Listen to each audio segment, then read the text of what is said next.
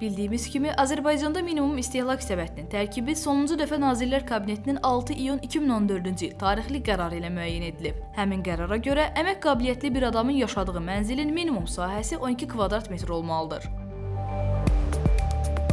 Yeniavaz.com xəbər verir ki, hazırda Azərbaycanda təxminən 262 min nəfərin yaşadığı mənzilin sahəsi minimum səviyyədən 2 dəfə azdır. Dövlət Statistika Komitəsinin açıqladığı məlumata görə, evinin yaşayış sahəsi adam başına 5 kvadrat metrdən az olan ev təsərrüfatlarının onların ümumi sayında xüsusi çəkisi 2,6%-ə bərabərdir. Azərbaycanda təxminən 2 milyon 401 min ev təsərrüfatının olduğunu nəzərə alsaq, bu 62,4 mindən çox ailə deməkdir. Hər bir ev təsərrüfatının payına orta hesabla 4,123 nəfər düşdüyü üçün də 262 min nəfərin yaşadığı sahə 5 kvadrat metrdən az olub. Bundan başqa Azərbaycanda evinin damından su sızan, rütubət və nəm olan, divarlarında, döşəməsində, bünövrəsində və pəncərə şüşəsində çatları olan 77 minə yaxın ailə var. 36 min ailənin evində isə vanna və ya duş yoxdur. Açıqlanan məlumatlarda o da qeyd olunur ki, 96 min ailənin tualetində su xətti mövcud deyil.